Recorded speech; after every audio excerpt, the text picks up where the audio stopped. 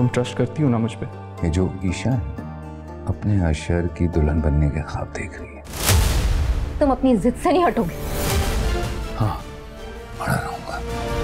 फ़िलहाल मैं ईशा को बहुत पसंद करता हूँ।